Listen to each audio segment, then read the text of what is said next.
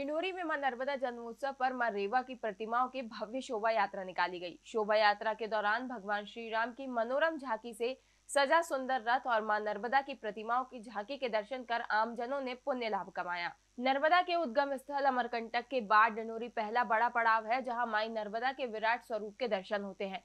और यही वजह है कि नगर में माँ नर्मदा जयंती बड़े ही धूमधाम और उल्लास के साथ मनाई गई। समाज सेवी संस्थाओं और माता के भक्तों के साथ साथ जिला प्रशासन ने भी समारोह को भव्यता प्रदान करने के लिए कोई कसर नहीं छोड़ी। पुनी सलीला माँ नर्मदा के दोनों तट बहुत ही आकर्षक तरीकों से सुसज्जित किए गए।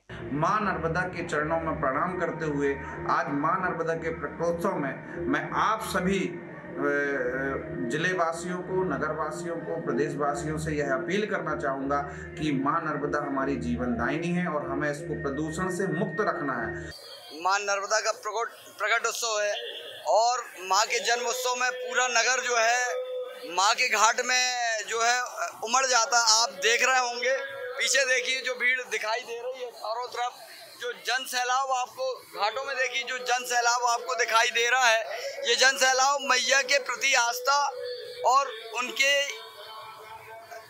विश्वास का प्रतीक है कि माँ नर्मदा हमेशा हमारे लिए, हमारे कष्टों में, हमारे दुखों में खड़ी रहती हैं।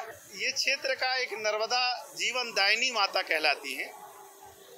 यहाँ के लोग, नर्मदा खंड के लोग, नर्मदा में इतनी आस्था है कि नर्मदा खंड में रहने वाले लोग कभी अपने आप को ये कमी महसूस नहीं करते किसी भी प्रकार का।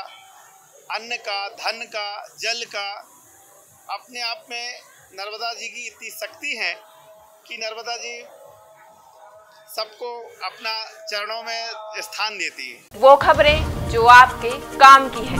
वो खबरें जो आपके लिए ज़रूरी है। हर आम और खास से जुड़े मसले। हर मसले का सटीक विश्लेषण। हम करते हैं सत्य का अन्वेषण। दखल न्यूज़। आपके हक में। आप देख रहे हैं दखल न्यूज़।